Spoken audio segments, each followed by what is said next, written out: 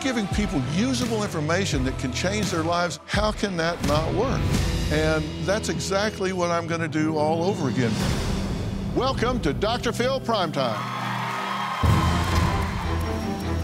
I'm standing at the border between Mexico and the United States. How, under any theory, is that okay for us to be spending tax dollars to traffic children? Doctors are acting like they're God. What she witnessed there was so morally and medically appalling that she had no choice but to expose what was really going on. I submit and I serve my husband. You said you submit to your husband. Why are you looking at me? I'm not trying to start trouble. Sextortion killed my son. From the time Gavin was contacted by his sextortionist till he took his own life was how long? One hour and 40 minutes. One hour and 40 minutes. That's how deadly a game we're playing here. The video of her student assault has been viewed a reported 67 million times.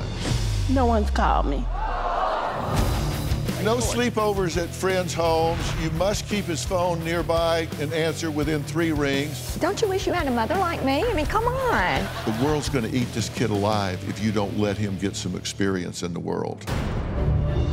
I'm here with the son of the Hamas co-founder. He turned his back on Hamas. What Hamas did on October 7 was an attempt for ethnic cleansing. I'm asking you what you think and you believe. Let's start with what happened on October 7th. Do you endorse that? I reject the premise of that question being asked.